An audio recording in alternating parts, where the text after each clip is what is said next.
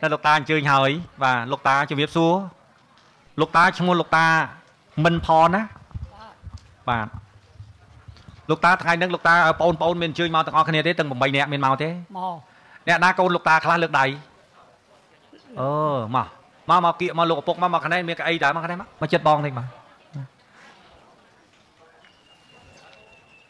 អើឯងមកអ្នកណានេះកូនច្បងគេអង្គុយទឹមលោកតាមកអង្គុយមកចិត្តបង ចុះលោកយាយលោកយាយនៅទេលោកតាអត់ទេលោកតាលោកយាយអត់នៅទេបាទអ្នកណាកូនច្បងនេះអបងប្អូនកូនច្បងហ៎បងរងថ្ងៃគ្រូហ៎គ្រូហើយបងគ្រូហ៎អើគ្រូបានហើយតោះលោកតាថ្ងៃហ្នឹងលោកតាមានកង្វល់អីលោកតាអញ្ជើញមកលោកតាមានប្រសាសន៍មើលមានខ្វល់រឿងដីដីហ្នឹងយ៉ាងម៉េចលោកតាដីភូមិដីភូមិហ្នឹងយ៉ាងម៉េចដីភូមិនោះវាក៏ចែកគ្នាជា3ចំណែក លោកតាបានចែកដីហ្នឹងជា3បាទជា3ហ្នឹងឲ្យទៅកូនណាឲ្យតកូនអ៊ំ2ឲ្យមកខ្ញុំមួយអលោកតាបានចែកទៅឲ្យកូន2នាក់បាទគេកូនភាសាមួយកូនកើតមួយកូនប្រសាមួយកូនបកើតមួយបាទបាទហើយខ្ញុំមួយហើយលោកតាមួយចែកជា3បាទដីហ្នឹងទំហំប៉ុណ្ណា160ជាងបដ ாய்60 ជាងបាទហើយឥឡូវហ្នឹងដីហ្នឹងយ៉ាងម៉េចបញ្ហាហ្នឹងយ៉ាងម៉េចលោកតាលោក គេអត់អោយឲ្យចំណែកខ្ញុំខ្ញុំចេញពីវាទៅនៅអត់បានអញ្ញាធមមានមកទេឯណាមើលអ៊ំមិនឃុំអ៊ំទៅរាយរាប់ជំនួសលោកតាមើលតើសំណុំរឿងហ្នឹងមានឆ្លងកាត់ឃុំទេអើឆ្លងកាត់ឃុំ4ដងហើយមើលឥឡូវលោកមិនឃុំមានប្រសាសន៍មើលលោកឪពុកនៅឃុំហ្នឹងអាឆ្លោយមកមើលមើលសាវតាដីហ្នឹងបញ្ហាតំណោះដែលកើតឡើងពីស្អីបាទជាបឋមជំរាបសូមគោរពអេដាមនៅពងខ្ពស់ បាទជំរាបសូមជម្រាបអំពីបញ្ហាដីនេះគឺនិយាយពីប្រវត្តិដីនេះគឺពិតជាដីរបស់លោកតាមិនផនប្រកាសមានអឺជាមរតកតាំងពីដើមរហូតដល់ឆ្នាំ1979នេះក៏គាត់កាន់កាប់ជាបន្តប៉ុន្តែក្រោយមកអឺកូនគាត់មាន8នាក់បាទ8នាក់នឹងស្រី2ហើយការហើយអស់ហើយបាទគាត់មានផ្ទះសម្បែងសពហើយ នៅឡែកដែលកូនពៅរបស់គាត់អឺឈ្មោះផុយវណ្ណៈបាទដែលនៅជាមួយដែលនៅលើភូមិបកចាស់របស់គាត់ ដែលមានបណ្ដោយអឺផ្លូវ60ម៉ែត្រជាងបាទតែជំរឿ40ចឹងណាគ្រូបាទជំរឿដឹងប្រហែលបាទថាដីហ្នឹងគឺជាប់នៅផ្លូវបាទបាទដីនៅជាប់ផ្លូវហ្នឹងគឺមានអឺលំនៅឋានគាត់ពីមុនមកហ្នឹងហើយនឹងមានអឺសម្ភារៈមួយចំនួនដែលមានពីមុនប៉ុន្តែបន្ទាប់ក្រោយមក ដីនេះអឺមុនឆ្នាំអឺមុននឹងគាត់រៀបអឺការជូនកូនគាត់មានកូនភាសាកូនកើតនេះគាត់បានទៅនិយាយប្រាប់ថាអឺគាត់អត់មានអីឲ្យថ្លៃផ្ទះទេដោយគាត់បែងចែកដីភូមិដែលមានហ្នឹងគឺជា3ចំណែកចំណែកទី1គឺរូបគាត់ចំណែកទី2គឺកូនបង្កើតចំណែកទី2គឺកូនប្រសាហើយចំណែកទី3ចំណែកទី3គឺកូនប្រសាស្រី បាទហើយដល់ចុងក្រោយគាត់បើសិនថាភាគីណាមួយដែលនៅមិនបានត្រូវបានមួយចំណែកដោយភាគីខាងប្រពន្ធក៏ត្រូវបានមួយចំណែកភាគីខាងគាត់ក៏ត្រូវបានមួយចំណែកខ្ញុំសូមបញ្ជាក់បងបន្តិចកូនភាសាហ្នឹងកូនភាសាហើយនឹងកូនបកើហ្នឹងពីរនាក់ហ្នឹងពីរនាក់ប្តីប្រពន្ធណាបាទពីអ្នកប្តីប្រប្តីពប្រន្ធពន្ធនៅលើនៅលើដីហ្នឹងដែរលើដីនឹងដែរបាទប៉ុន្តែគ្រាន់តែលោកតាបានបែងចែកចំណែកឲ្យហើយចែកឲ្យហើយបានតបាទហើយលកឹកណាស់បើគាត់នៅជាមួយបានគាត់នឹងប្រគល់ដីនឹង អស់ទាំងអស់នៅពេលណាដែលលោកតាគាត់ជរាពាតទៅបាទវិលទៅវិញបាទវិលទៅវិញបាទដល់ក្រោយមកទៀតអឺគាត់ក៏អើយបានអើយកូនហ្នឹងមិនគោរពតាមកិច្ចសន្យាឬក៏យ៉ាងម៉េបាចទចេះដល់ក្រោយមកអឺដីហ្នឹងក៏គាត់បានធ្វើប្លង់រួចហើយកូនអឺភុយវណ្ណៈនេះបាទយល់ព្រមពីថានៅជាមួយគ្នាវាមានភាពសុខសាន្តនេះទៅគាត់ធ្វើប្លង់អើយកម្មសិទ្ធិរួចហើយដីហ្នឹងដាក់ឈ្មោះភុអឺប្តីប្រពន្ធភុយវណ្ណៈនោះ បាទបាទហើយដល់អឺក្រោយមកក្រោយមកគឺប្រពន្ធភុយវណ្ណៈគាត់ធ្វើជាគ្រូបង្រៀនបាទគ្រូបង្រៀនគឺម៉ោង7ដល់ម៉ោង11បាទចេញហ្នឹងពេលព្រឹកហើយប្រពន្ធនៅប្តីនៅផ្ទះគឺមានរបរគាត់មានជូបាមានកោបាអីចឹងទៅគឺអាចថាដាំបាយឲ្យឪពុកហូបបានដល់ចុងក្រោយមកទៀតគាត់មានថែមម៉ាស៊ីនស្រូវមានថែមអឺយានយន្តកាយដីអីចឹងទៅ ដូចថាការថែរក្សាឪពុកហ្នឹងគឺអត់បានដិតដល់គាត់ក៏ចាក់ចេញទៅនៅជាមួយកូនស្រីគាត់ម្នាក់ទៀតលោកតាលោកតាគាត់ចេញពីកន្លែងគាហ្នឹងត់ចេញពីកន្លែងហ្នឹងដោយសារថាឃើញកូនវារវល់ពេកអញ្ចឹងណាហើយគាត់ទៅនៅជាមួយកូនស្រីប្រហែលជាក្នុងភូមិជាមួយគ្នាប្រហែលជាដល់តើមិនបាច់គិតគីឡូគិតម៉ែទេកាត់កាត់បាទបាទនៅក្នុងភូមិហ្នឹងបាទហើយដល់ហើយក្រោយមកក្រោយមកគឺបងប្អូនអឺសាច់ញាតិគាត់ទាំងអស់ក៏បានសម្រេចគិតថាអឺ គាត់ទៅនៅជាមួយកូនផ្សេងហើយកូនអឺស្រីនោះក៏គាត់រៀងមានជីវភាពសត្វខ្សោយដែរអញ្ចឹងក៏ក្រុមគ្រួសារគាត់ធ្វើច្បាប់គ្រួសារគាត់មួយច្បាប់គ្រួសារគាត់មួយគាត់គិតថាយើងជុំគ្នាគិតសម្រាប់យកថាវិការពីកូនភូវណ្ណៈខ្លះបាទដើម្បីអឺសម្រាប់គាត់ហូបចាស់បាទបាទអស់ហើយកូនទាំងអស់ហើយនឹងអឺលោកឪពុកក៏គាត់សម្រេចថាយក20លានយកតែ20លាននេះដីទាំងអស់ហ្នឹង សម្រាប់គាត់ចាយចាស់ទាំងដីលោកតាផងបដីហ្នឹងវាមានដីហ្នឹងវាក្នុងមានចំណែកហ៎ចំណែក3ហ៎បាទចំណែកឥឡូវវណ្ណៈជាមួយនឹងប្រពន្ធធ្វើមកប្លង់ហើយ3ធ្វើអត់ទេគាត់ធ្វើទាំងអស់ហើយដាក់ឈ្មោះគាត់ទាំងអស់អូអញ្ចឹងដីដី3ចំណែកហ្នឹងគឺដាក់ឈ្មោះទៅពីអ្នកប្តីប្រពន្ធទាំងដីលោកតាដែរបាទបាទទាំងអស់អាដល់ពេលមានបញ្ហាទៅចំណាយលោកតាលោកតាឈប់នៅលោកតាសំណុំពោឲ្យដោះស្រាយផលប៉ះពាល់នេះដោះស្រាយចំណងគាត់ហ្នឹង20លានបាទបាទ20លានឥឡូវចប់តែប៉ុណ្្នឹងបាទមកទៀតហើយដល់ចេះដល់ពេលអឺគាត់ចរចាទៅគាត់ថាយកតែ10លានទេ អត់តែព្រមខាងភួយវណ្ណៈគាត់ឲ្យ10លានបាទបាទឲ្យ10លានក៏ចរចាគ្នាត្រូវតែគាត់ឯកភាពលើកូនគាត់ទាំង7និងរូបគាត់ទាំងអស់គ្នាយល់ព្រមថាឲ្យគាត់10លានហ្នឹងប៉ុន្តែគាត់ក៏ដូចជាកូនគាត់ទាំងអស់គាត់សម្រេចថានេះជាច្បាប់គ្រួសារគឺមិនអោយអ្នកណាដឹងនឹងទេ បាទហើយមានអឺបងប្អូនគាត់គាត់មានអ្នកកាន់លុយអ្នកកាន់អីភួយវណ្ណៈហ្នឹងដែលជាកូនហ្នឹង ផ្ដល់ឲ្យមួយខែប្រហែលក៏បានដែរតែកម្រិតឈប់ត្រឹម10លានបាទបាទហើយដល់ថ្ងៃក្រោយថ្ងៃក្រោយអើយភុយបណ្ណាប្តីប្រពន្ធគាត់មានថវិកានោះ10លានមាន10លានគាត់ក៏ហៅមេភូមិហៅមេភូមិហើយទៅជួបនឹងឪពុក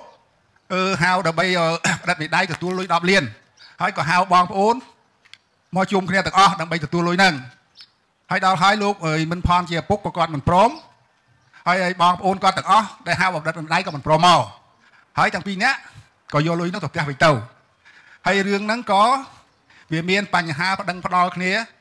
អឺទាដីវិញឈប់យកលុយអញ្ចឹងឲ្យបានថារឿងហ្នឹងវានៅត្រង់ហ្នឹងរឿងដែលកើតមកដល់ថ្ងៃនេះដល់សាលាខេត្តគឺមានរឿងប៉ុណ្ណឹងរឿងរឿងចំណុច លោកតា ដែលមាន ហឹម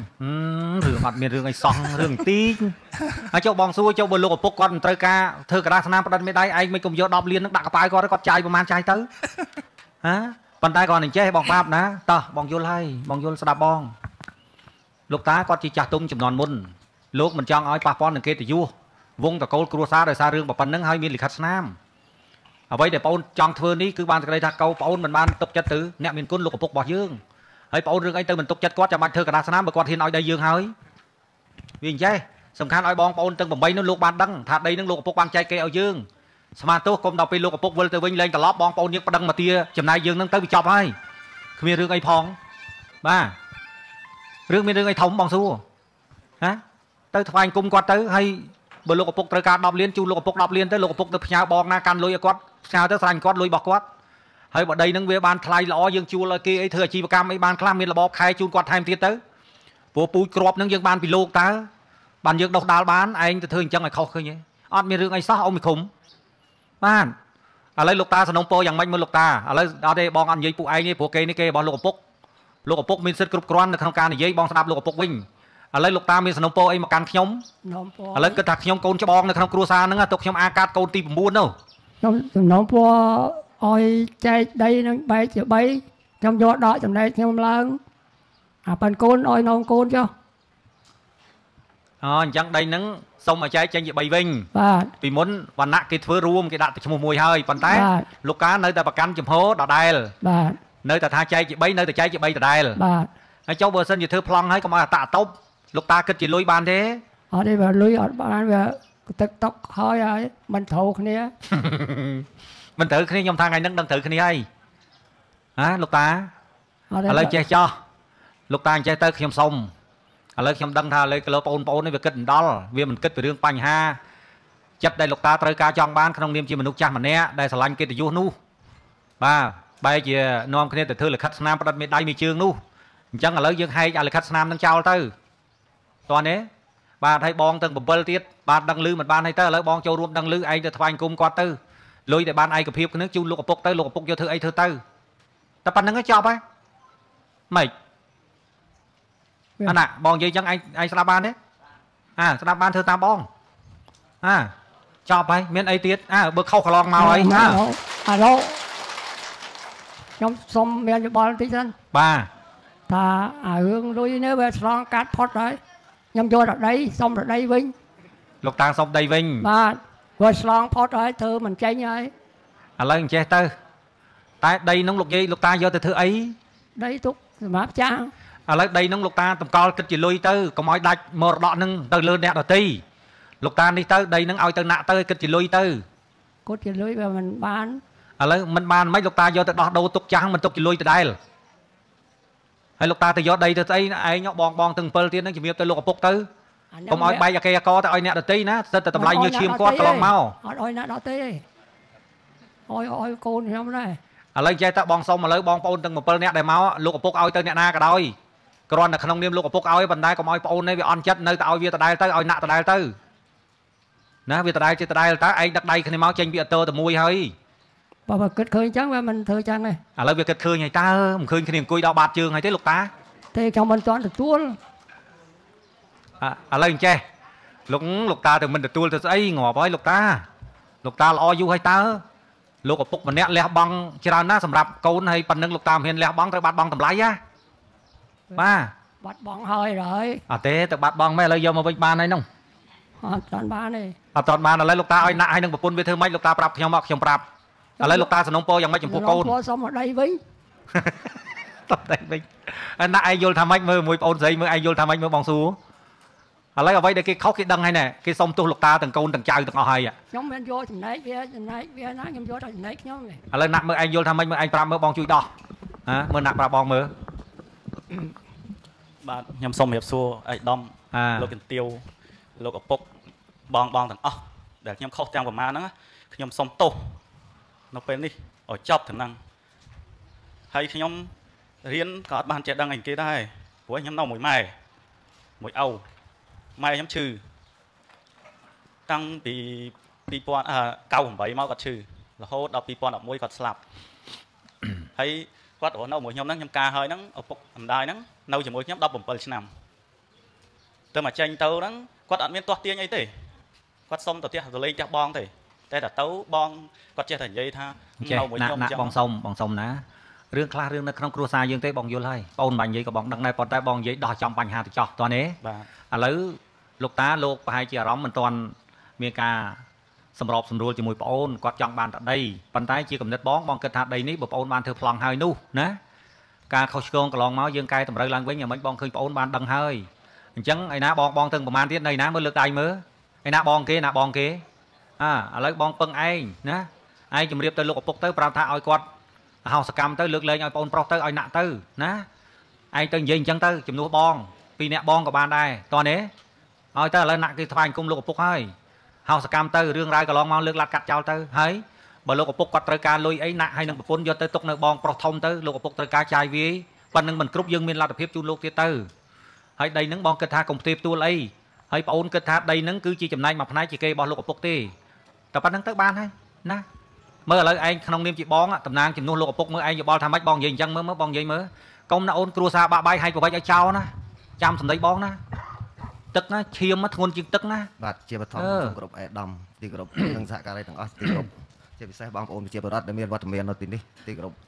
ក្នុងនាមខ្ញុំជាបងក្នុងនាមខ្ញុំជាបងខ្ញុំមិនមានសិទ្ធិអាកាត់អីទាំងអស់បាទព្រោះបានថានេះគឺជារបស់ឪពុកខ្ញុំគាត់អោយប្រមាណខ្ញុំយកប៉ុណ្ណឹងបើគាត់អត់អោយខ្ញុំអត់យកព្រោះខ្ញុំអត់ចង់បានរបស់ឪពុកបាទហើយរឿងនេះជារឿងរបស់ឪពុកទាំងស្រុងបាទខ្ញុំគ្រាន់តែមកនេះខ្ញុំគ្រាន់តែថាគាត់ចាស់ខ្ញុំជូនគាត់ជួយគាត់ក្នុងនាម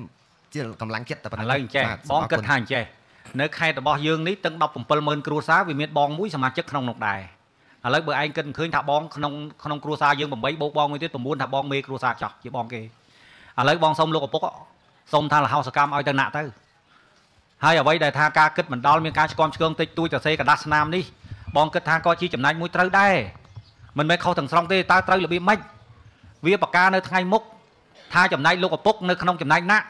គីឡូមានអ្នកណាផ្សេងនោះប្តឹងចំទាស់ទៅលើដីនឹងទៅតុលាការថាចំណាយលោកឪពុកត្រូវចែកទាយប៉ុន្តែគ្នាបានឲ្យលុយនឹងទៅលោកឪពុកហើយមិនខុសទេណាក់ធ្វើក៏អត់ខុសដែរព្រោះការងារច្បាប់បាទព្រោះការងារច្បាប់ពេលខ្លះត្រូវការកដាស់ស្នាមអូនឯងត្រូវដឹងណាបងដោះរឿងច្រើនបានបងដឹងថានៅក្នុងគ្រួសារមួយមួយមានសភាពខុសខុសគ្នាទាំងអស់បាទមានតម្លៃខុសខុសគ្នាទាំងអស់អញ្ចឹងមិនថាលោកឪពុកគាត់គិតនេះគិតតែតម្លៃគ្រួសារគាត់មួយមិនមែនគិតស្ថានភាពរួមហើយក៏មិនបានគិតពីលើស្ថានភាពទៅលើផ្លូវច្បាប់ដែរគិតទៅពីរឿងច្បាប់គ្រួសារ ច្បាប់គ្រួសារបងឯកភាពទៅលោកឪពុកថាម៉េចគឺអញ្ចឹងហើយប៉ុន្តែនៅពេលដែលលោកឪពុកយើងអត់ទៅស្រាប់តែមានបញ្ហាអីកើតឡើងយើងអត់មានលិខិតស្នាមផ្លូវច្បាប់តើឲ្យណាក់វាទៅមានស្អីទៅតតាំងគេណាអត់ខុសទេណាក់ធ្វើនឹងមិនខុសទេបាទមិនខុសទេអញ្ចឹងបានបងថាឥឡូវអញ្ចេះបងនិយាយអញ្ចឹងលោកតាលឺទេបងសុំលឺបាទខ្ញុំសុំខ្ញុំសុំអ៊ំណាអ៊ំសុំអ៊ំចោះក្នុងនាមជាកូនមួយដែរចោះអ៊ំលើកលែងទោសឲ្យណាក់ទៅហើយដីនឹងវាបានជ្រុលធ្វើប្លង់ឲ្យវាទៅ ហើយក៏វាជាចំណែកចៅរបស់អ៊ំដែរហើយចំពោះអ្វីដែលអ៊ំមានការទៀមទាណាក់ណាសងលោកឪពុកទៅហើយលោកឪពុកខ្វះខាតលឿននឹងឯងក៏ត្រូវទៅជួយទៅព្រោះតម្លៃវាធំណាស់បាទគុណលោកឪពុកលោកម្ដាយធំណាស់ហើយគាត់មានគេចែកឲ្យពួកឯងឯងនេះសិតតែមហាអស្ចារ្យហើយណាអញ្ចឹងបងគិតថាដូចអត់មានអីធំទេណាឥឡូវអញ្ចឹងទៅបងគិតថាអញ្ចឹងចោះណាថ្ងៃនេះលោកតាគាត់ប្រហែលជាយល់ព្រមតាមបងហើយណាបងអូនទាំងពីរស្អែកបាញ់មួយស្រាក់ទៅស្វែងគុំគាត់ទៅនាំកូននាំចៅទៅណាតាបានហើយទៅចប់ទៅ កុំអាកុំអាកុំអាអូនឥឡូវអ៊ំណាឥឡូវខ្ញុំគិតថាអញ្ចេះមិនថាតាណាក់ឲ្យប្តីប្រពន្ធវាទេខ្ញុំក៏សុំអ៊ំដែរណាសុំអ៊ំដែរអញ្ចឹងចោះណានឹកឃើញអញ្ចឹងវាមិនអញ្ចឹងទេបាទឥឡូវតាឥឡូវអ៊ំអញ្ចឹងទៅកុំទៅខឹងវាទៅអីអ៊ំអើយខ្ញុំស្មានថាអ៊ំប្តឹងរឿងអីណាតោះឥឡូវអញ្ចឹងចោះឥឡូវថោណាឥឡូវបងចូលរួមចំណែកជាមួយលោកតាមាលៀនណា បងអូនយកលុយមកជូនលោកលោកតាលោកឪពុកមាលៀនណាអើទៅជូនអើតោះអើអើតោះបងបងឲ្យបងជូនលោកតាមាលៀនផងឯងចាំជូនគាត់ជំនួសបងទៅហើយប្លង់នឹងមិនបាច់ផ្ទេផ្ទួលទៀតទេតោះនេះហើយបើលោកតាគាត់មានការអីចាំមកជួបបងណាអឺតោះហ្នឹងហើយចឹងទៅហើយបងប្អូនទាំង7នាក់ទៀតណាអោពូជួនកាលបងប្អូនយើងរៀនបានតិចយើងទៅខឹងធ្វើអីកុំខឹងណាណោណាក់ណាក់ជូនទៅជូនទៅលោកតាលោកយាយពីរនាក់ហើយជូនជូនបងប្អូនពីរនាក់ជូនលោកតាណាបងជូន លុយនឹងលុយខ្ញុំទេណាអ៊ំកូនទី9ព្រោះអ៊ំមានកូន8អានឹងកូនទី9ជូនបច្ច័យ4អ៊ំមលៀនណាតោះឥឡូវបងសុំបញ្ចប់រឿងនឹងត្រឹមប៉ុណ្្នឹងធ្វើកំណត់ហេតុទៅអាញាធរដឹងឮជាមួយខ្ញុំហើយបើលោកតាមានការប្តឹងផ្ដាល់អីទៀតអត់ទាន់ចប់ទេនិយាយនេះទៅដល់មានកិច្ចសន្យាទេត្រឹមតបឥឡូវចេះឥឡូវចេះចោះឥឡូវបើសិនជាលោកតាមិនពេញចិត្តរបៀបម៉េចអ៊ំមេឃុំខ្ញុំនឹងទៅជួបលោកតាដល់ផ្ទះតោះនេះឥឡូវខ្ញុំសុំប៉ុណ្្នឹងណាខ្ញុំដឹងថាលោកតាស្អែកប្រហែលជាគាត់មានអារម្មណ៍ផ្សេងក្រៅពីនឹងណា ហើយស្អែកឯងធ្វើតាមបងទៅណាណាតោះចប់ហើយអញ្ចឹងលោកយាយលោកតាបាទសុំសុំនាំពណ៌ទៅចុះបាទលោកតាមានប្រសាសន៍មកឥឡូវខ្ញុំនៅមិនកើតនៅមួយគ្នាមិនបានបើនឹកមិនដែលទៅចូលផ្ទះខ្ញុំផងឯងឃើញទេអញមែនពីអ្នកឯងនឹងអញ្ចឹងអត់ទេខ្ញុំនៅអត់បានទេណោះឥឡូវលោកតាទៅនៅជាមួយអ្នកណាទៅនៅមួយកូនទីឥឡូវចេះទៅឥឡូវណាក់ណាក់ឯងហើយនឹងបងអូនស្រីណាខ្ញុំខ្ញុំសុំចេះបងខ្ញុំសុំថាឥឡូវឲ្យគាត់មកនៅមួយខ្ញុំវិញចុះ អត់ទេកុំកុំកុំកុំអត់មានទៅតាមចិត្តបងអូនទេបងអូនអត់មានទេបងអូនតាមលោកឪពុកលោកឪពុកលោកត្រូវការរបៀបម៉េចលោកចង់បានម៉េចព្រោះបញ្ជនលោកប៉ុណ្ណេះត្រូវតែថ្នមលោកលោកចង់ទៅនៅតាមអ្នកណាព្រោះប្អូនទទួលបានគេរបស់លោកឪពុកត្រូវតែតាមថៃលោកតោះនេះ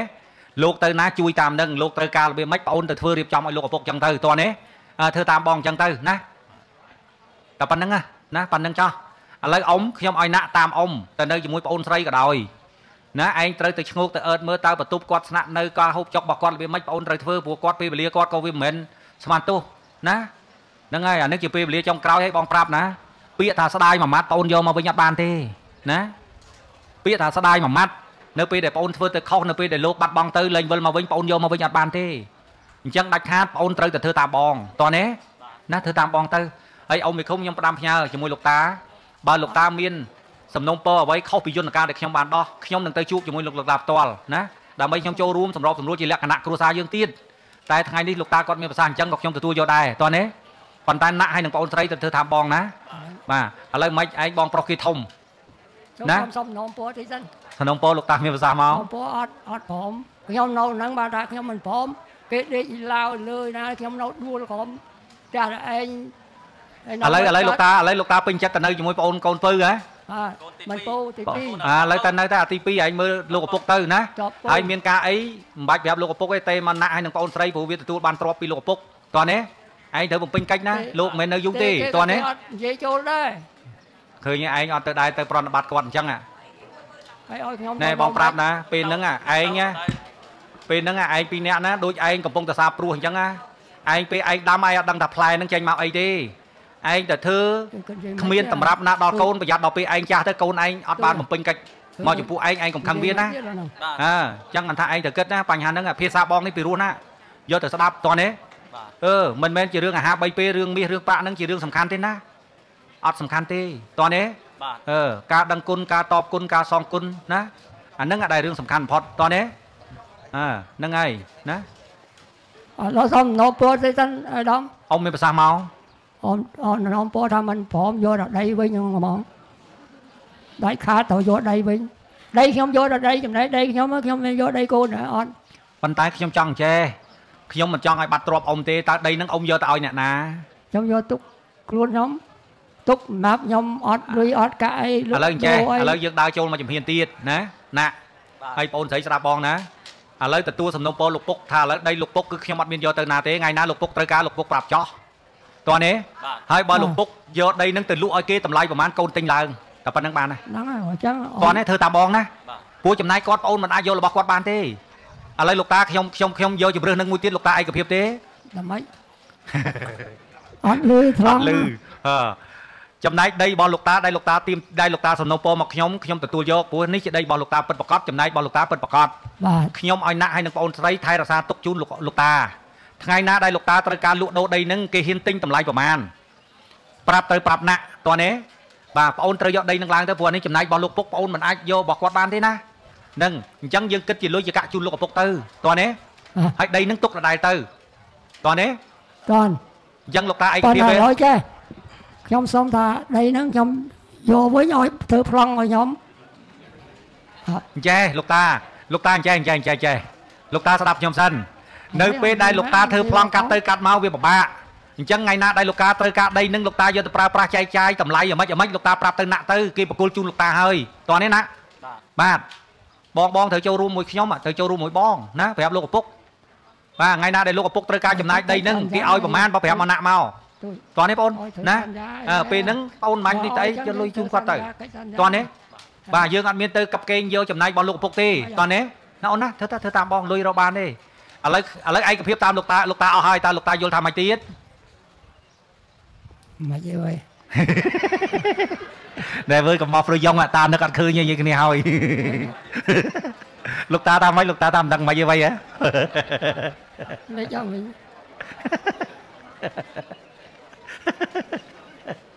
សុំអត់តោខ្ញុំនិយាយខុសហើយវិញមិនលោកតាសុំនិយាយខុសហើយអត់ទេលោកតាមានប្រសាសន៍ត្រូវទាំងអស់តើ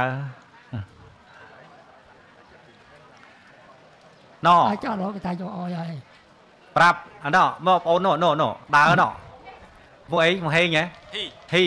ហ៊ីខ្សឹបប្រាប់ទៅលោកឪពុកប្រាប់ថាបងជំរាបថាអ្វីដែលសំណុំពររបស់លោកឪពុកបងឯកភាព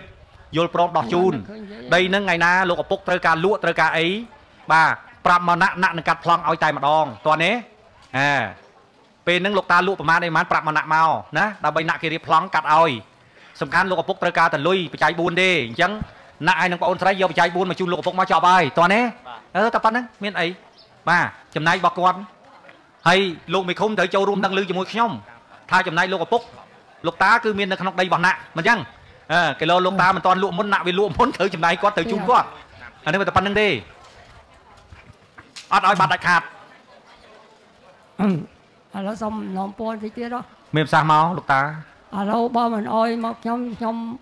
ជំងឺជាប់រាល់ថ្ងៃហើយធ្វើលេបឆ្នាំចាក់ឆ្នាំឲ្យបានលុយពីណាបើលុយនៅលើគេឥឡូវលោកតាសម្រាប់ថាដីនឹងលក់ប្រមាណដីនឹងលក់លោកតាកុំឲ្យបាត់បង់តម្លៃជាឪពុកថ្ងៃមុនឯកភាពគេតែ10លានទេណាតិចលឿនហ្នឹងអត់ទេប៉ុណ្ណឹងអត់យល់ទេឥឡូវយកប្រមាណចុះយកតាមថ្លៃដីប្រមាណទៅថ្លៃដីខ្ញុំនិយាយឲ្យកើតទេដឹង ទូកុំលោកតាមានប្រសាសន៍បង្កើតមើលតម្លៃដីប្រមាណហ្នឹងមើលម៉ែថាម៉ែដាក់លើតុកគណៈធិបតីទាំងអស់គ្នាតែអត់ដឹងចប់មកប៉ុន្មានទេណាមួយនេះដល់3ទេណានៅ7ហ៎អូ7ហ្នឹងដឹងមិនទេទុកបងលោកតាមានប្រសាសន៍មកតែឡូវ ដល់កាត់តាមម្លាយដីហ្នឹងម្លាយដីទីផ្សារមកមុខផ្ទះគេលក់ចឹងហើយលក់តាមគេទល់មុខនេះដីទល់មុខនេះហើយលោកតាគិតថានឹងអ្នកដតីអីបានចង់លក់តម្លៃទីផ្សារវាដកកូនមែនប៉ុន្តែកូនមិនត្រូវគ្នាសោះធ្វើម៉េចឥឡូវលោកតាមានប្រសាសន៍មើលតម្លៃនឹងរបៀបម៉េចមើលដាក់ចាំស្ដាប់មួយបងតោះហ្នឹងហើយអាហ្នឹងមកមិត្តបានហើយមុខហ្នឹង 2000ហើយដីហ្នឹងប៉ុន្មានមិត្តដីហ្នឹងចំណែកខ្ញុំហ្នឹងវា20ម៉ែត្រជាងអូយឆ្ងាយហ่าលោកតា10លានទៅ40000ឆ្ងាយហ่าចុះលោកគេលក់ចឹងហើយយើងមិនលក់តាមគេខ្លាចគេខឹងទៀតណាហេលោកលោកហើយលោកតាខ្លាចគេខឹងហើយខ្លាចកូនអត់មួយណាយកមួយណាកូនមានហើយតើមិនអត់ណា ចំណែកខ្ញុំអត់យកខ្ញុំយកដល់ចំណែកខ្ញុំគិតមិនទៅណាអើយអាណាណាឥឡូវលោកតាមើលមើលមើលមើលមានភាសាច្បាស់មើលមួយកូនមួយអ្នកដតីទៅលក់អញ្ចឹងមិនកើតបើមួយបើកូនវាមិនធ្វើអូអញ្ចឹងទេពេលដល់បានប្លង់លេងស្គាល់ឯងហ្មងលោកតាមកអើយខ្ញុំមកហើយមានអី ខ្ញុំយកដល់ដីខ្ញុំទៅខ្ញុំដីដីឲ្យកូនខ្ញុំមិនយកណាមើលណាប្អូនចង់បានដីនឹងទុករបស់លោកសុំលោកឪពុកចែកពីលោកឪពុកវិញឬក៏ប្អូនចង់ថាបើចំណាយលោកឪពុកលោកឪពុកយកទៅធ្វើអីធ្វើទៅមើលបងសួរឯងវិញខ្ញុំចេះកាលពីមុនហ្នឹងគាត់នៅជាមួយខ្ញុំទាំងម៉ែទេកុំកុំកុំកុំកុំនិយាយរឿងនោះអីបងសួរតែពីនហ្នឹងឯងសួរថាតើដីចំណាយរបស់លោកឪពុកប្អូនមានកំណត់ចង់ថែរក្សាមរតកនឹងទុកទេចែកពីលោកឪពុកវិញ ឬក៏បងអូនមិនចង់មិនចង់បានទេបងសួរតែប៉ុណ្្នឹងឯងកុំកុំវែងខ្ញុំចង់បានព្រោះអីខ្ញុំសាងសង់ពេញលើនឹងអស់ហើយបងអូនសង់សាងពេញលើនឹងអស់ហើយបាទលបងថ្មជុំវិញអញ្ចឹងបងសួរមួយឥឡូវបងសួរសិនតើបើលោកឪពុកលោកចង់បានអញ្ចឹងក្នុងតម្លៃអញ្ចឹងតើបងអូនមានលទ្ធភាពប៉ុណ្ណាប្រាប់មកបងជួយនិយាយណាផ្ទះវានៅលើនឹងអស់ហើយរោងម៉ាស៊ីនអីនៅលើនឹងអស់ហើយវាមានការខូចខាតណាអ៊ំកាលណាអ៊ំយកទៅលក់ឲ្យអ្នកដតីវាត្រូវបាត់បង់ផលប្រយោជន៍កូនហើយ ហើយវាបាត់បង់ទ្រព្យសម្បត្តិសិតតែតម្លៃញើសរបស់វាឈាមរបស់វាណាអ៊ំបាទឥឡូវបើសិនជាបងចង់ទិញពីលោកឪពុកតើបងមានលទ្ធភាពប៉ុណ្ណាមើលប្រាប់បងមើលបងជួយនិយាយលោកឪពុកថាចេះចោះលោកបងខ្ញុំសុំឲ្យគាត់20លានឲ្យចប់ត្រឹមនឹងចោះជូនលោកឪពុក20លានបាទអ៊ំអ៊ំយល់ថាម៉េចដែរឥឡូវក្មួយប្រុសវាថាជូនលោកឪពុកមិនមែនទិញលោកឪពុកទេអានឹងជូនលោកឪពុក20លានហើយសុំសុំទុកដីនឹងជាគេរបស់លោកឪពុកដដែលទេណាអ៊ំគេអត់មានសិទ្ធ អត់ដែលគាត់ថាគេប៉ុន្តែអត់សិទ្ធធ្វើម៉េចខ្ញុំយកលក់អីយកអីក៏អត់បានគាត់ថាឈ្មោះខ្ញុំអយបាទអញ្ចឹងឥឡូវអ៊ំមើលអ៊ំមានប្រសាសន៍មើលឥឡូវចូលដល់និយាយតម្លៃលក់ដូរម្ដងតើអ៊ំគិតលក់ឲ្យកូនប្រមាណអានេះជាកូនរបស់អ៊ំទេណាកាលមុនលក់ឲ្យវាដល់50%ទេវាអត់យកកាលនោះ50%អ៊ំលក់តម្លៃប្រមាណកាលហ្នឹង ថ្លៃតាមផ្សារស្មើប្រមាណបានមើលម៉ែត្របានម៉ែត្រ2000អូអញ្ចឹងវាស្មើ20000 20000 20000វា80លានណាឥឡូវអញ្ចេះទៅអ៊ំកុំឲ្យបាត់បង់តម្លៃខ្លួនឯងអ៊ំនៅតែរក្សាចំហដដែលទៅលក់ឲ្យកូននៅក្នុងតម្លៃ50%ហ្នឹងឥឡូវស្ទង់មើលតើ50%ហ្នឹងណាក់ឲ្យនឹងប្រពន្ធនេះវាមានលទ្ធភាពប្រមាណអ៊ំយកយល់វាទៀតទៅ ហើយបញ្ចប់រឿងហ្នឹងទៅខ្ញុំបញ្ចប់ឲ្យថ្ងៃនេះយកយល់អីបើអ៊ំមុនវាមិនព្រមយកហើយហ្នឹងអាចុះវាមិនព្រមយកដោយសារការនោះឯងវាយល់ថាប្រហែលជួនកាលវាមិនហ៊ានវាមិនចង់ហ៊ានយកខ្លាចអ៊ំយកលុយទៅប្រើទៅវាអស់ហ្នឹងណានឹកប៉ុណ្ណាមិនមែនយកចោលទេលុយលោកតាមានប្រសាសន៍ត្រូវមែនហ្នឹងណាក់ឃើញឯងនៅឈឺអស់ថ្ងៃលេបឆ្នាំអស់ថ្ងៃឡើងចេះទៅ ឥឡូវលោកតាសម្រេចដាច់ប្រមាណលោកតាមានប្រសាសន៍មកមើលតើលោកតាដាច់ប្រមាណគិត50%បាន50%ណាក់20000បងគិតលេខមូល20000ចោះខ្ញុំអត់មានលទ្ធភាពទេបងព្រោះអីខ្ញុំឥឡូវរត់បានទេហើយខ្ញុំក៏ទៅពាក់ធនាគារដែរចុះឥឡូវយើងនិយាយមួយលោកឪពុកទៅកុំឲ្យគាត់យកទាំងដុលទៅឥឡូវបងអូនមានតើឥឡូវបើសិនជាអញ្ចឹងមែនបងគិតថាបើវា80លានយើងឲ្យ4ដំណាក់កាលទៅ ហើយក៏យើងកុំគិតថាដីនឹងយើងទិញអីលុយហ្នឹងគឺដីហ្នឹងជាគេលោកឪពុកទៅហើយលុយដែលយើងជូនលោកឪពុកគឺជាការថែទាំគាត់ទៅគិតចឹងទៅកុំឲ្យវាក្តៅណាកាលណាគិតទិញលក់វាក្តៅណាស់គាត់គាត់គិតអញ្ចឹងគាត់គិតតម្លៃទីផ្សារពេញឥឡូវអូនឯងចង់ឲ្យលោកឪពុកលក់ឲ្យប្រមាណឥឡូវបើថាបើគាត់លក់តម្លៃទីផ្សារពេញខ្ញុំសុំតែចំណែកមើលថែម៉ែទៅខ្ញុំសុំចែកឯងចង់ម៉ែឯងឲ្យឯងនៅក្នុងពោះគាត់ឲ្យគាត់ចិញ្ចឹមដល់បានប៉ុណ្ណេះឯង គាត់មានដែរទាពីឯងកាលអានឹងកាន់តែឆ្ងាយទៀតនិយាយនឹងកាន់តែខុសប្រយ័ត្នបងជួយលេងរួចបើចុះបើគាត់ទាតម្លៃច្រើនអញ្ចឹងខ្ញុំមានលុយណាអត់ទេឯងនិយាយអញ្ចឹងឯងនិយាយអញ្ចឹងបងជួយលេងរួចតិចទៀតបងជួយលេងរួចកុំនិយាយខ្ញុំនិយាយអត់ទេណានិយាយអញ្ចឹងឯងនិយាយអញ្ចឹងឯងកូនបកើតឬកូនភាសាខ្ញុំកូនបកើតអើអូនកុំនិយាយអញ្ចឹងខុសហើយពាក្យហ្នឹងខុសហើយបងអត់អាចទទួលយកបានទេគុណម្ដាយគុណឪពុកជាកតាបកិច្ចរបស់យើងតោះនេះគេថាមនុស្សមានប្រមាណបំណុលមានប្រមាណមនុស្សយើងមានបំណុល4ណាគេថាបុលបំណុលចាស់ សងបំណុលថ្មីដាក់ក្នុងជ្រោះជ្រៅកប់ក្នុងសាសនាបំណុលមាន4ត្រូវចាំតែមានជីវិតមកទៅមានបំណុល4ហ្នឹងហើយណាអញ្ចឹងអ្វីដែលបងនិយាយហ្នឹងសិតតែការសងគុណទេណាកុំកុំអីបាទការសងគុណតែឥឡូវកុំចាំបងចាំបងនិយាយមួយពុកវិញណាហឹម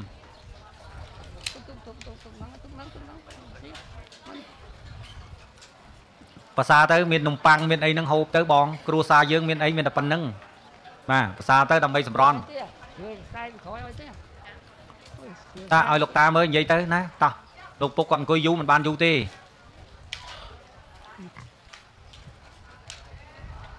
បត់ស្រោមសមុទ្រដាក់កប៉ាវគាត់ផងឥឡូវយល់ថាម៉េចណា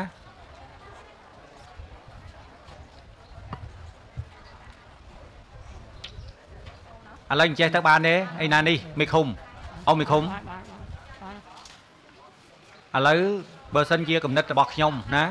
កំណត់របស់ខ្ញុំលោកតាគាត់មិនមែនមិននេះទេគាត់ប្រកាសជាមានការចូលរួមហើយណាឥឡូវបងគិតថាឲ្យណាក់ទៅចោលទៅចោលទៅចោលឥឡូវមើលអ៊ំមេឃុំកំណត់របស់ខ្ញុំខ្ញុំគិតថាអញ្ចេះអ៊ំមេឃុំខ្ញុំគិតថាឲ្យលោកតាគាត់ហើយគាត់នៅប្រកាន់ចំហរបស់គាត់ដែលមានពាក់ព័ន្ធនឹង50%នេះតោះនេះ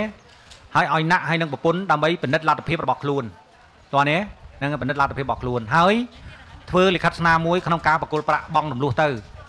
តោះនេះពលលោកតាក៏គាត់មិនមែនយកទាំង50%ហ្នឹងយកទៅប្រើម្ដងអស់ដែរមាន100000ក្តី50000អឺមាន1លាន2លាន10លាន20លានក្តីយកទៅហើយកត់ទៅហើយបញ្ជូនទៅឲ្យកូនកូនស្រីណកូនស្រីបន្ទាប់ដែលនៅជាមួយនឹងទៅដែលលោកតានៅជាមួយនឹងទៅណាមានតែប៉ុណ្្នឹងទេបាទខ្ញុំគិតថាប៉ុណ្្នឹងវារឿងមួយត្រឹមត្រូវហើយណា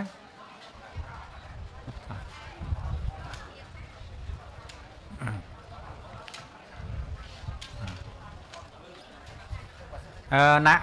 ណាក់ម៉ណេះបងបញ្ចប់សំណុំរឿងនឹងឲ្យណាឥឡូវណាក់ឈរនិយាយនិយាយមួយបងឥឡូវបងប្រុកគិតប្រាប់ថាបងឲ្យទៅមេឃុំដើម្បីឲ្យលោកឪពុកគាត់មានជំនឿធ្វើកិច្ចសន្យាឲ្យគាត់ចោះហើយបងគិតថា50%វាស្មើនឹង20000នេះលោកឪពុកមិនយកទៅចាយម្ដងអស់ទេបងអូនមានលទ្ធភាពប៉ុណ្ណាបងអូនលួសប៉ុណ្ណឹងប៉ុណ្ណឹងទៅអត់ខ្ចីខ្ញុំមួយម៉ាត់ទេណាលួយយ៉ាងមកលើរឿងកន្លងមកដោយសារតែពីរនេះឯងប្រណិប័តគាត់មិនបានល្អទើបគាត់មានការខឹងអញ្ចឹងតោះណា បាទឥឡូវជាច្បល់អញ្ចឹងឯងយល់ថាម៉េចលុយវាបា20000វាច្រើនពេកបងបងគិតថាវាច្រើនមែននៅពេលហ្នឹងប៉ុន្តែតម្លៃគុណគាត់ហើយនឹងពេលវេលាដែលគាត់មានចំពោះឯងគឺវាលើសនឹងច្រើនដងណាស់ណាបងគិតថាបងអូនទទួលទៅបំពេញម្ដងលោកឪពុកទៅហើយពេលហ្នឹងគាត់ថាយកពីបងអូនប៉ុណ្ណឹងប៉ុន្តែនៅពេលដែលបងអូនប្រណិប័តគាត់បានល្អសង្ស័យគាត់មិនយកវិញផងមិនដឹងជឿបងទៅអាចអត់គាត់អាចអត់យកវិញតោះនេះបើបងអូនជឿតាមបងបងជឿថានឹងអ្វីអ្វីនឹងស្របស្រួលទៅវិញបានល្អណា ឆ្លើយទៅអូនពេលហ្នឹងគាត់នឹងពិនិត្យឃើញថាបងអូនមានលទ្ធភាពឬក៏អត់ទៅជឿបងវាច្រើនពេកយើងអត់លុយអត់ច្រើនទេគាត់មិនមែនយកម្ដងទេតើណាតើជឿបងទៅហើយបើមានអីមករត់មករកបងមកចាំបងចូលរួមជួយណាទៅជឿបងធ្វើទៅធ្វើទៅអូនធ្វើទៅណាធ្វើទៅ20000វាច្រើនពេកបងខ្ញុំប៉ុន្តែលោកឪពុកគាត់មិនយកម្ដងឯណាគាត់គាត់មានតែគាត់ចាយម្ដង20000ឯណា ពេលណាដែលបងមានលទ្ធភាពយើងជូនលោកឪពុកទៅគាត់តម្លៃដែលគាត់ដីគាត់ហ្នឹងគឺតម្លៃប៉ុណ្ណឹងតោះនេះជឿបងណាធ្វើតាមបងល្អជាងហ្នឹងទៅទៅឲ្យ20000ហ្នឹងតែជឿតាមបងណាជឿតាមបងអូនអត់មានអីទេណាអត់មានអីលើសលួសទេប៉ុណ្្នឹងហ៎តាមវិញទេហើយអាចលេបណាំផ្ទះលឹមឡើងលេបហើយមកជឿក្រោយទៅ ច្រើនណាបើតាមប៉ាខ្ញុំគាត់មិនលុយទៅអីទេហាពីច្រើនពេកបងខ្ញុំអត់លទ្ធភាពទេទេគាត់មិនមែនគាត់យកម្ដងឯណាយើងសុំលោកឪពុកទៅប្រហែលឆ្នាំឬក៏លោកឪពុកត្រូវការពេលណាជូនគាត់ទៅគាត់មិនមែនទៅពេទ្យគាត់ចាយម្ដង10000ឯណាអូនអូនអ្នកណាមួយដែលកាន់លុយលោកឪពុកយកទៅជូនគាត់ទៅកត់ទៅជូនគាត់ជូនគាត់ទៅធ្វើតាមបងជឿជឿតាមបងណាបើបងអូននៅតែជំទាស់អញ្ចឹងរឿងនឹងអត់ចប់ទេតោះណាហើយបញ្ហានេះអត់ល្អទេណាអត់ល្អទេជឿបងកុំទៅសារលុយណា គុណលោកឪពុកធំណាស់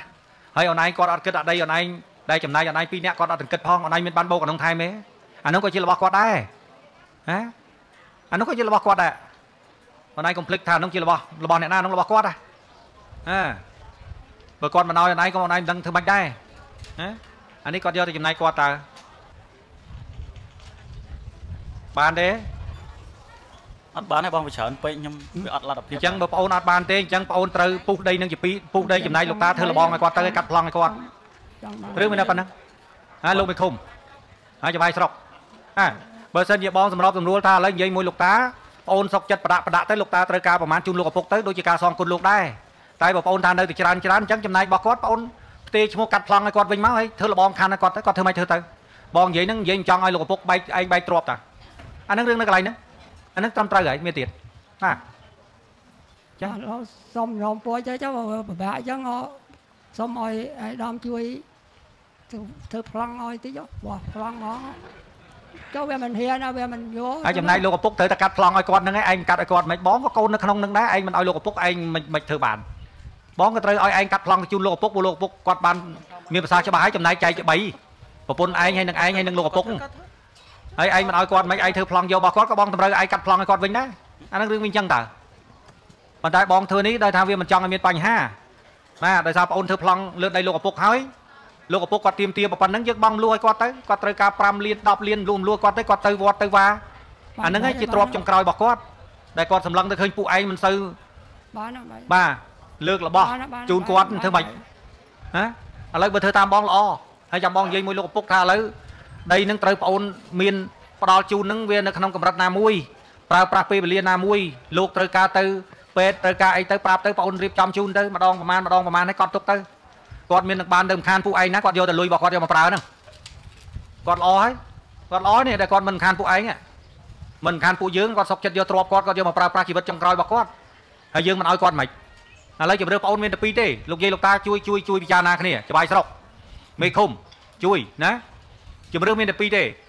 ឡូវលោកឪពុកថាដីហ្នឹងគាត់លក់ឲ្យ50%បងគិតទៅដីនេះប្រហែលជា40000អញ្ចឹងបើតម្លៃ40000នេះបងអូនត្រូវនិយាយជាមួយលោកឪពុកលោកឪពុកដែលមិនអាចយកម្ដងទាំង40000ទេព្រោះជីវភាពបងអូនក៏លោកឪពុកបានដឹងដែរថាឯងក្រឬក៏មាននោះបាទពេលដែលគាត់ទៅពេទ្យគាត់ត្រូវការប្រមាណយើងជូនប៉ុណ្្នឹងឲ្យកត់ទៅលុយចំណាយលុយគាត់ដែលយើងបានទិញដីគាត់តែប៉ុណ្្នឹងទៅចំណាយទី1ទី2បើបងអូនមិនទទួលយកដីដែលលោកឪពុកលក់លក់ហ្នឹងទេទៅវិញផ្ទេផ្ត្រង់ជូនលោកឪពុកឲ្យធ្វើលបងកាត់ចំណាយលោកឪពុកទៅគាត់យកធ្វើអីធ្វើទៅតែប៉ុណ្្នឹងចប់ហើយ មែនទេលោកយាយលោកតាបាទអានឹងវាតែប៉ុណ្្នឹងតែបើចំពោះបងអូនត្រូវយករបស់លោកឪពុកគឺមិនបានដាច់ខាតអានឹងវាតែប៉ុណ្្នឹងឥឡូវយកមួយណាយកបងកាត់ឲ្យចប់ជម្រើសពីរនឹងយកមួយណាក៏បានដែរដើម្បីបងនិយាយមួយលោកពុកកុំឲ្យគាត់អង្គុយយូរឥឡូវខ្ញុំសុំឲ្យគាត់ចុះតិចទៀតចុះអ៊ំឥឡូវណាក់វាសុំអ៊ំចុះបន្តិចទៀតតើអ៊ំអាចចុះឲ្យកូនបានប្រមាណដីនឹងវាពិបាកទៀតប្លង់គេហើយបាក់កាត់ចុះកាត់ឡើងទៀតណាមែនទេហ៎ហ្វន អ៊ំត្រូវគិតថាប្លង់នឹងវាឈ្មោះគេទៀតអញ្ចឹងវាបាក់កាត់ចុះកាត់ឡើងអញ្ចឹងបើគេតថ្លៃចុះបន្តិចទៀតទៅអ៊ំអ៊ំចុះបន្តិចទៀតមើលចុះប្រមាណឲ្យកូនលោកតាបានបានហើយហ៎យកយកឲ្យណា20000ចុះទៀត20000យកណាតែទៀតឲ្យអ្នកណាឡើងមកអង្គុយទៅនឹងបាទក៏ដល់មើលមើលមុខឲ្យវាវាប្របាក់លុយអាលុយហ្នឹងវាប្របាក់ពេកចឹងណាប្របាក់ពេកមើលលុយខ្ញុំតែយ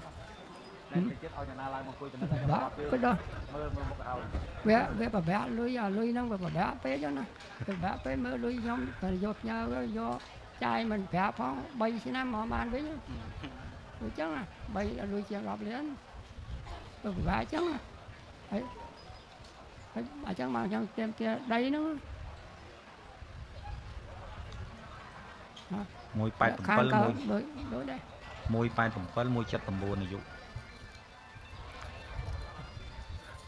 មិនទៅលោកមេឃុំលោកតាគាត់ចោយកូនប្រហែល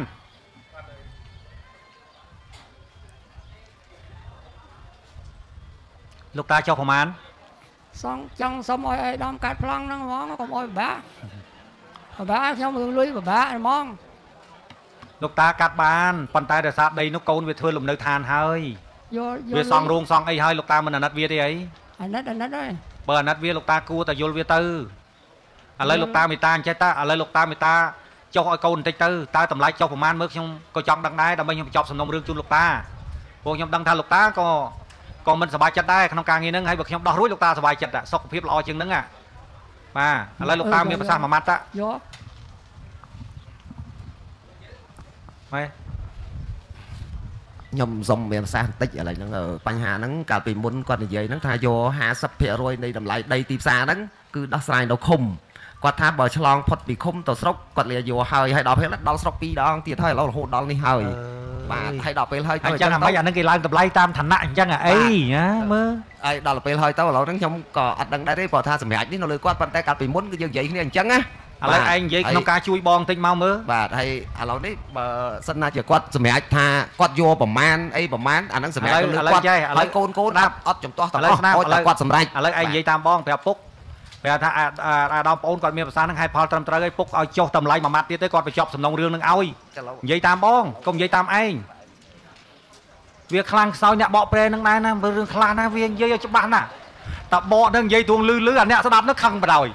បើនិយាយទួងទុនទុនទៅអ្នកស្ដាប់នឹងថាដូចជាវាជក់អារម្មណ៍ដែរណាមិនចឹងមិនទៅអត់ដឹងចឹងនេះ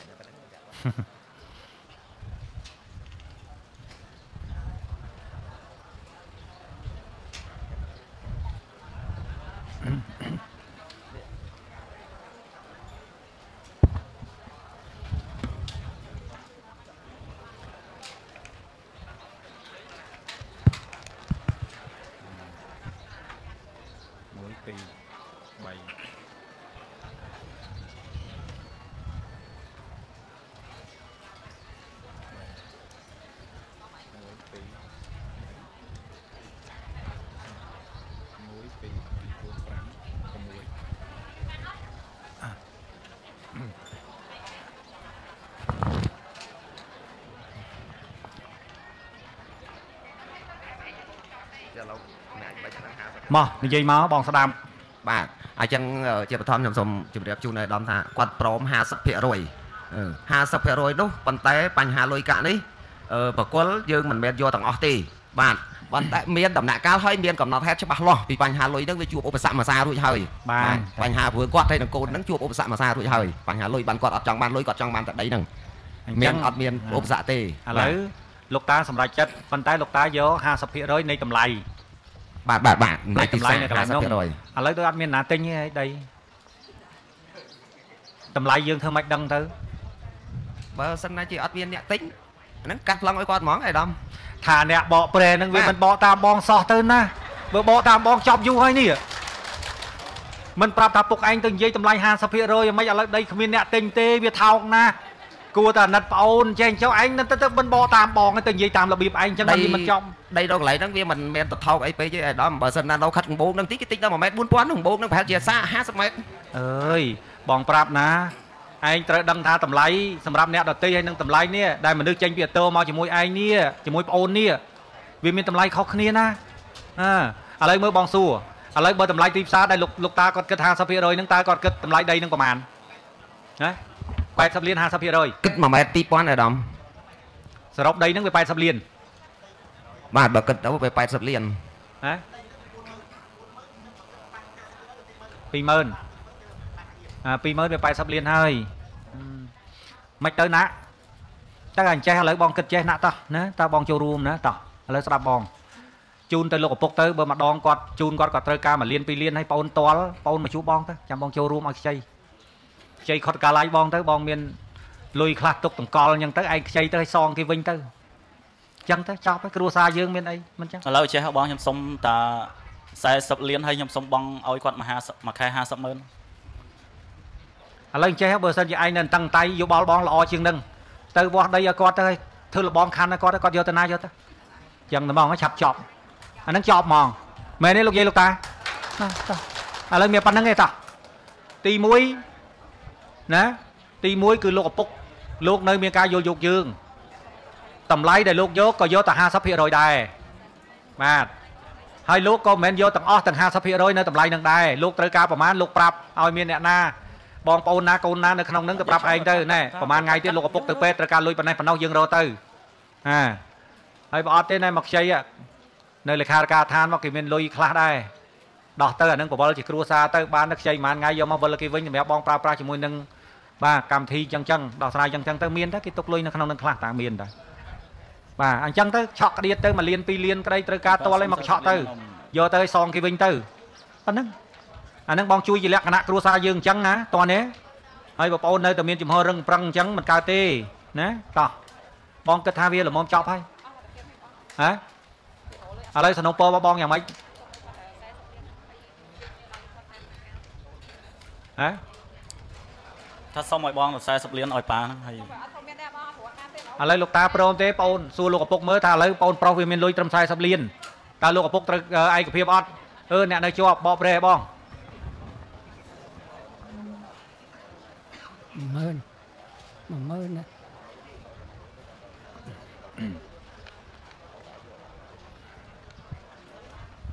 ចុះ5000ចុះ5000ចុះ5000ណា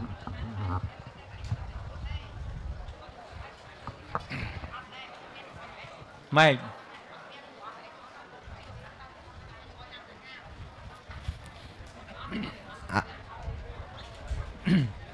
ឥឡូវគាត់ថាបើសិនណាជានេះគាត់អាចចុះឲ្យបានទៀតទៀតបាទចុះប្រហែលជា2 3000អីបានទៀតបាទឥឡូវចេះទៅអ្នកបកប្រែលើកនេះនិយាយដូចព្រោះបន្តិចឥឡូវអ្នកបកប្រែឥឡូវបងអាកាត់ណាជឿបងបងសុំឲ្យលោកឪពុកត្រឹម15000មើលបានហើយបាទ 15000ទៅហើយបងលួសទៅជូនលោកឪពុកទៅ15000អញ្ចឹងអាហើយអា15000បាទឥឡូវបើអញ្ចឹង15000គាត់ព្រមបានបាទបាទហើយឥឡូវអញ្ចេះអឺណាក់ហើយនឹងបងអូនស្រីបងចូលរួមណាពេលដែលលោកឪពុកទៅពេទ្យបងអូនកញ្ចក់លុយមិនទាន់ម្ដងមួយលានពីរលានអីបងអូនខ្លីដៃខ្លីជើងរកមិនបានបងអូនមកជួបមួយលេខាធិការឋានធ្វើលិខិតទៅប៉ុន្តែខ្ចីសងគេព្រោះលុយនឹងលុយសពរស់ជនទេបងចូលរួមជួយប៉ុណ្្នឹងទៀតលោកយាយលោកតាឯកភាពទេបាទ ហើយបញ្ចប់ទៅរឿងហ្នឹងប៉ុណ្្នឹងទៅជឿបងឲ្យចប់ទៅ គ្រួសារយើងបងប្រើប្រាស់ការដោះស្រាយទំនាប់នួជាគ្រួសារយើងបងអត់មានប្រើប្រាស់អីទេណាតែជឿបងទៅធ្វើប៉ុណ្្នឹងឲ្យចប់ហើយអូនឥឡូវខ្ញុំសុំបន្តិចឲ្យដំបញ្ហាលុយហ្នឹងមកគាត់ព្រមហើយ15000ក៏ប៉ុន្តែចង់ថាដំណាក់កាលនៃការបង់លុយដាក់លុយឲ្យគាត់នោះព្រោះគាត់ត្រូវការចំណាយរាល់ថ្ងៃហើយដំណាក់កាលទី1គឺគាត់សុំច្រើនជាងគេជាងដំណាក់កាលចុងក្រោយតិចប្រហែលសុំ អើយសលក្ខខណ្ឌបើមណាចាំវាមកធំប៉ុណ្ណាណីមិនដែរទៅដាក់លក្ខខណ្ឌទេដល់ចុងក្រោយទៅដាក់លក្ខខណ្ឌលោកតាគាត់សុំលើកទី1គាត់សុំ10000បាទហើយពួកថាបានថាលក្ខខណ្ឌនេះយកទៅធ្វើអី10000នោះបាទអត់សុំជំរាបតិចអាដាមលក្ខខណ្ឌនេះមិនមែនកើតចេញពីខ្ញុំទេគឺកើតចេញមកពីដោយសារខ្លួនវាវាធ្វើឪពុករួចមួយសារួចហើយបាទគឺវាមិនបង្កើតឡើងទាំងអស់រឿងហ្នឹងមិនមែនខ្ញុំទេខ្ញុំមិនមែនខ្ញុំយ៉ាងកើតទេយើងចេះយើងគិតថាប្អូនវាខ្លីកំណត់គិតមិនដល់ណាពេលខ្លះ ដោយសារតែការខ្វះខាតខ្លះការចង់បានខ្លះណាទើបវាមានបញ្ហានឹងកើតឡើងឥឡូវបងគិតចេះទៅឥឡូវបងបកប្រែប្រាប់ទៅលោកឪពុកទៅថាកុំដាក់កម្រិតតឹងតែងពេកទៅមើលមើលតើវាមានអីនៅក្នុងផ្ទះឬក៏ចង់ឲ្យវាលក់របស់របរនឹងទាំងអស់យកមកឲ្យយើងបានយើងសប្បាយចិត្តណាមើលវាផងមើល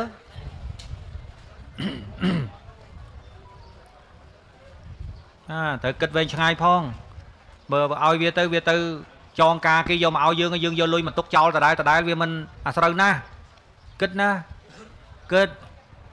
ឥឡូវគាត់ថាចេះដាំគាត់ថាបើសិនណាជានេះទេដំណាក់កាលទី1គឺគាត់យក5000ព្រោះគាត់ថាគាត់ត្រូវព្យាបាលដំណាក់កាលទី1ហើយខែក្រោយមកបង់តាមខែទៅមួយខែ1000ខែ1000អញ្ចឹងទៅបាទហ្នឹងហើយតើឥឡូវហ្នឹងក្នុងនាមអេដាមក្នុងនាមអេដាមតើអេដាមជួយបានសម្រាប់ឲ្យរឿងហ្នឹងបានដែរអត់ហើយលទ្ធភាពដែលវាប្រហែលជាខ្ញុំថាអាចរកបាន បាទអាហ្នឹងលទ្ធភាពវាឥឡូវចេះណាក់ឥឡូវណាក់ក៏ចាស់ដែរហើយណាក់ណាក់ស្ដាប់បងណាឥ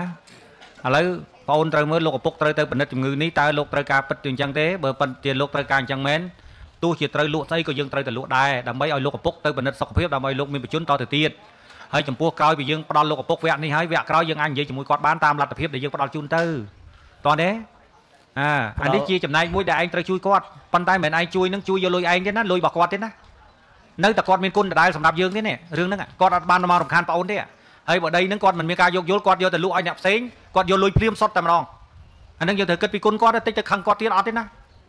ណែការពិតយកមកមើលអញ្ចឹងយកមកគិតអញ្ចឹងតោះណាបាទឥឡូវមើលតាប្រឌិតលទ្ធភាពទៅណាខ្ញុំរត់បានទេបងព្រោះអីឥឡូវនេះបានឥឡូវបងសម្រាប់ព្រោះតំណាក់បានវាច្រើនពេកឥឡូវបានគាត់ថាច្រើនពេកអញ្ចឹងឥឡូវបងប្អូនធ្វើអញ្ចឹងបងសម្រាប់ចុងក្រោយចុះព្រោះបងបងបញ្យល់បងប្អូនលែងយល់ហើយអញ្ញាធរណា បើសិនជាឥឡូវជំរឿសដែលខ្ញុំដាក់ឲ្យហើយយកទៅគិតណាទី1ខ្ញុំឯកភាពជាមួយលោកឪពុកដែលគាត់ចុះតម្លៃរហូតរហូតដល់ដំណាក់កាលនេះបងដឹងថាដីនេះបងប្អូនមិនប្រើយកទៅលក់ក៏បានចំណេញភ្លាមដែរមិនចឹងឥឡូវគាត់ចុះឲ្យនៅត្រឹម15000ដំណាក់កាលទី1លោកឪពុកសុំ5000ទៅមើលពិនិត្យជំងឺបងអូនត្រូវយ៉ាងម៉េចក៏បងអូនត្រូវតែធ្វើឲ្យបានដែរបើបងអូនក្នុងនាមជាកូនល្អណាអាហើយបើបងអូនធ្វើប៉ុណ្្នឹងមិនបានទេបងក៏នៅខាងលោកឪពុកហើយឲ្យអាជ្ញាធរទៅវិញយកប្លង់នឹងទៅកាត់ជូនចំណែកលោកឪពុក លោកឪពុកយកទៅធ្វើអីរឿងរបស់លោកឪពុកតែប៉ុណ្ណឹងចប់លោកយាយលោកតាខ្ញុំសម្រាប់ចឹងឯកភាពទេហើយចុះធ្វើម៉េចបើឯងមិនហ៊ានទៅហ៊ានបាទនេះលោកឪពុកផងឯងទៅធ្វើម៉េចកើតបងសួរហើយបងអូនទៅធ្វើម៉េចកើតបងអូននៅតែយកការលំបាកមកដាក់មុខមិនគិតពីរឿងសុខភាពនិងអាយុជីវិតរបស់លោកឪពុកបងចូលរួមជាមួយបងអូនមិនបានចូលរួមមួយបងអូនអត់បានទេបាទជំរឿនមានតែពីរហ្នឹងឯង ជូនជូនលោកឪពុកទៅលុយ20លាននេះក៏កម្រងតែឯងបានមានកម្រងចង់ឲ្យលោកឪពុកយូរមកហើយដែរត្រៀមលុយនឹងយកមកជូនលោកឪពុកមករួចហើយនៅពេលដែលលោកឪពុកគាត់មកពីមើលជំងឺវិញគាត់ត្រូវការរបៀបម៉េចបន្តបន្តមកគាត់ទៅហើយបើថាមួយខែមួយខែវាខ្វះលុយតលុយអីមួយលានពីរលានមកខ្ចីលេខាធិការឋានឲ្យសងគេវិញទៅបងចូលរួមជួយជាលក្ខណៈគ្រួសាររបស់យើងតែប៉ុណ្ណឹងដូចអស់ហើយជំរឿនដូចអត់មានអីទៀតទេណាលោកអាបាស្រុកបាទ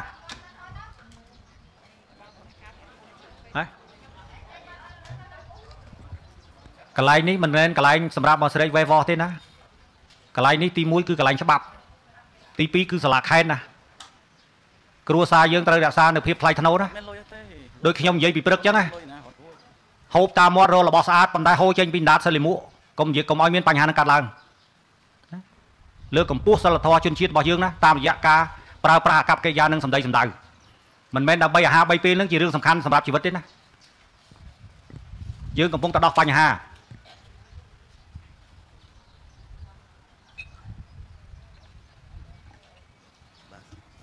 តោះ សម្រាប់ចិត្តទៅបងបងនឹងបញ្ចប់សំណុំរឿងនេះកុំឲ្យលោកតាអង្គុយយូរ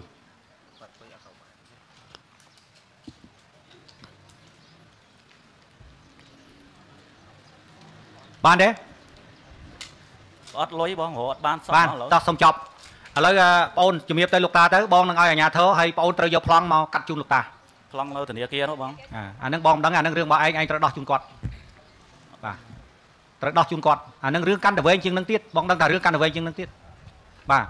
ភាពមិនត្រឹមត្រូវរបស់បងអូនមួយដែលពាក់ព័ន្ធជាមួយនឹងចំណែកលោកឪពុកបងអូនធ្វើប្លង់យករបស់គាត់ជាចំណែកមួយមិនត្រឹមត្រូវរួចទៅហើយចំណែកទី2ឯងមិនបានយកអាសាគាត់ថែទាំគាត់ជាកូនល្អជាកំហុសទី2រួចទៅហើយនៅក្នុងព្រឹកនេះបងនិយាយយោងឯងច្រើនណាស់បងនិយាយយោងឯងច្រើនណាស់ប៉ុន្តែឯងនៅតែបន្តដឹកកំហុសខ្លួនឯងទៀតឲ្យបងត្រូវធ្វើម៉េចអត់ទេបងបំពេញតាមលោកពុកទៅវិញដាច់ខាតគឺត្រូវយកប្លង់ធ្វើការជាមួយនឹងធនាគារដើម្បីកាត់បញ្ជូនលោកឪពុកដើម្បីឲ្យលោកឪពុកមានបញ្ជូនយូរតទៅទៀត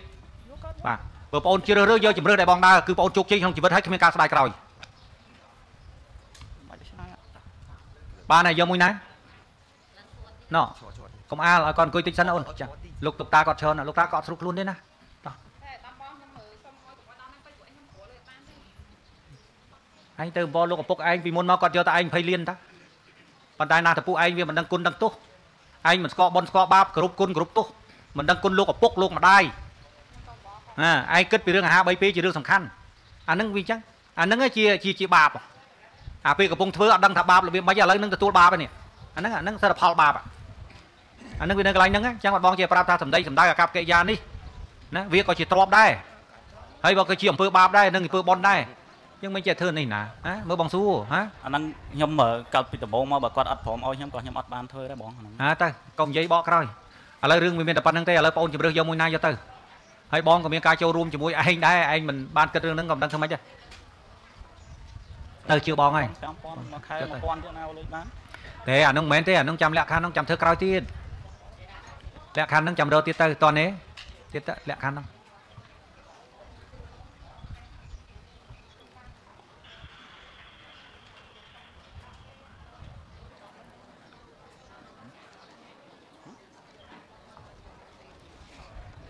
តោះ ស្រួតស្រួតអូនតោះមានការសម្រេចចិត្តភ្លាមភ្លាមទៅណាគ្មានឯងនឹងយកលុយទៅលេងលបាយណាទេលុយនឹងយកទៅឲ្យលោកឪពុកមើលជំងឺទេអានេះជាកតាបកិច្ចរបស់យើងហើយតោះណាកតាបកិច្ចយើងតើណា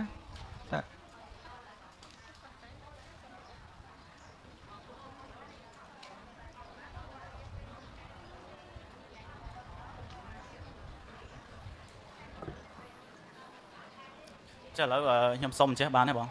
ខ្ញុំសុំពេលបង5000ហ្នឹងរៀងយូរបន្តិចទៅ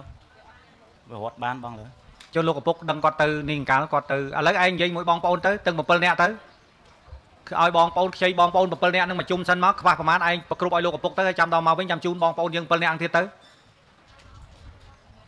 ណាដើម្បីឲ្យលោកឪពុកប្រគ្រប់យកទៅពេទ្យទៅចប់ហើយទៅធ្វើតាមបងណាលុយគាត់មិនតាន់អស់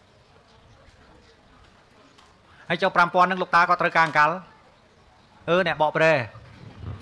អត់ទេលោកអ្នកបកមិនដឹងឈ្មោះថ្ងៃណាខ្ញុំមើលមិនដឹងថាមិនទៅអូអញ្ចឹងលោកតាអញ្ចឹងចេះទៅឥឡូវបងអូនទៅបងអូនពិនិត្យលទ្ធភាពមានប្រមាណជូនលោកឪពុកសិនមកហើយដល់ថ្ងៃណាលោកឪពុកត្រូវទៅអូនប្រគ្រប់អា5000នឹងជូនលោកឪពុកទៅណាជូនទៅជូនគាត់ជំហាននឹងទៅ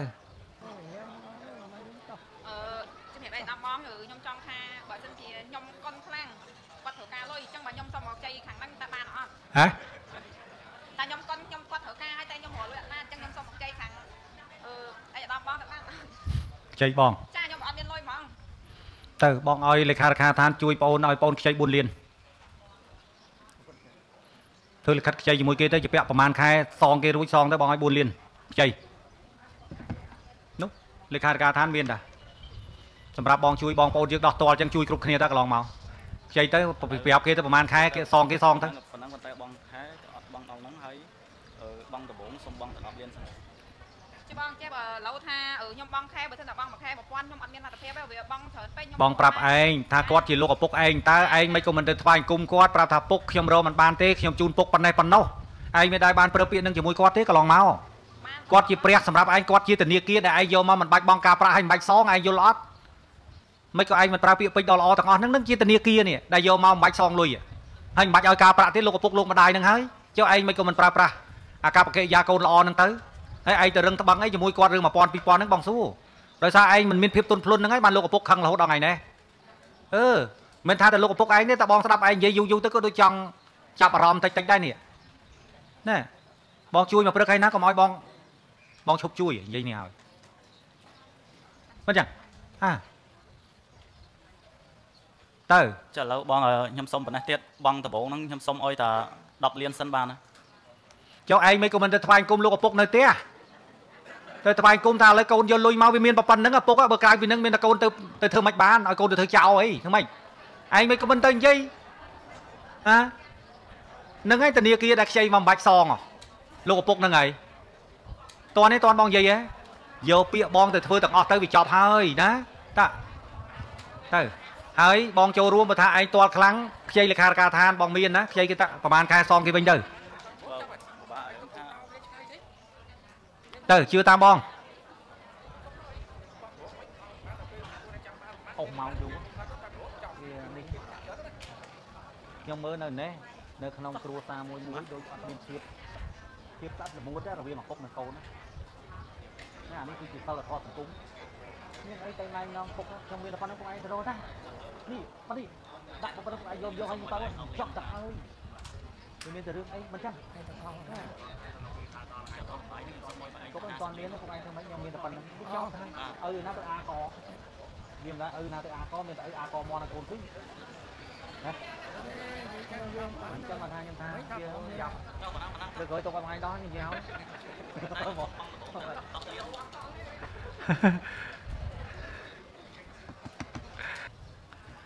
លោកយាយលោកតាបាននំប៉័ងភាសាគ្រប់គ្នាហើយនៅអ្នកណាអត់បានលើកដៃមកឆ្អែតទេលោកយាយលោកតាប៉ុណ្ណឹងក្រាន់នេះក៏ថែមទៀតក្រាន់ណាបាទមើលទឹកផងថោណារត់ទឹករកអីគ្រប់គ្រាន់ទាំងអស់ណាប្រយ័ត្នខ្វះម៉េចតែខ្ញុំឯកភាពតាមហ្នឹងចុះលំពេញបំណងរបស់គាត់ចុះមិនពេញបំណងទេឯងត្រូវដឹងគុណគាត់ហ៎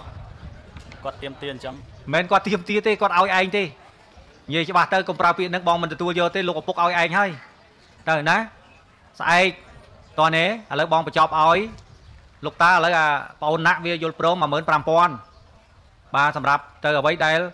ដែលលោកតាចែកគេឲ្យវានេះវាជូនសគុណលោកតាវិញ15000បាទណាអញ្ចឹងឲ្យមេឃុំខ្ញុំឲ្យមេឃុំផ្ទាល់ជាអ្នកធ្វើកំណត់ហេតុនេះតោះណាជាមួយនឹងលោកអភិបាលស្រុកជាមួយនឹងស្មៀនបាទណាបញ្ចប់សំណុំរឿងនេះហើយត្រូវតម្កល់ទុកណាពីអំណះនេះតទៅដីគេរបស់លោកតាក្រេឡូមានអ្នកណាមួយ មកប្តឹងទៀមទាពីណាក់ថាគេរបស់លោកពុកមិនត្រូវទេណា